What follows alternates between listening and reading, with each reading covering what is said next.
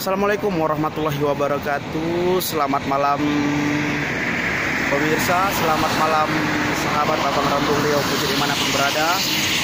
Malam ini kita mendapatkan satu berita duka dari salah seorang seniman kita Kakak Dewi Persik bahwa ayahanda beliau telah berpulang ke rahmatullah. Semoga amal ibadahnya diterima di sisi Allah, dilapangkan kuburnya, dijauhkan dari siksa kubur dan kepada keluarga yang ditinggalkan semoga diberi ketabahan dan semoga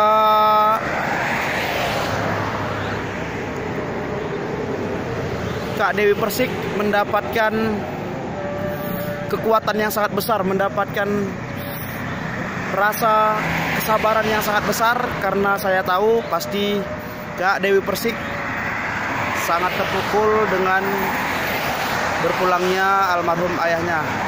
Semua sahabat-sahabat Babang Rambung Rio Pujit di mana pun berada, ayo kita doakan, kita bacakan Al-Fatihah untuk almarhum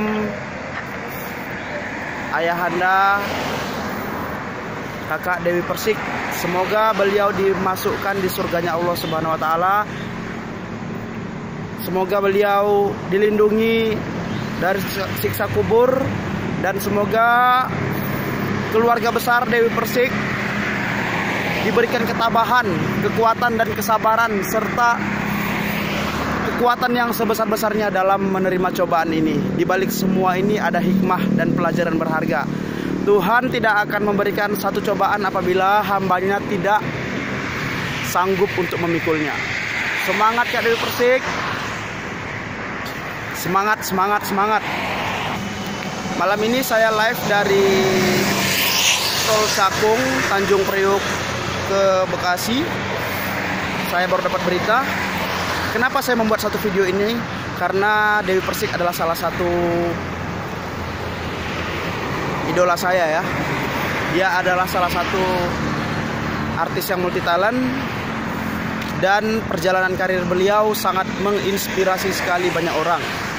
Saya tidak melihat siapa beliau tetapi saya melihat perjalanan beliau yang luar biasa.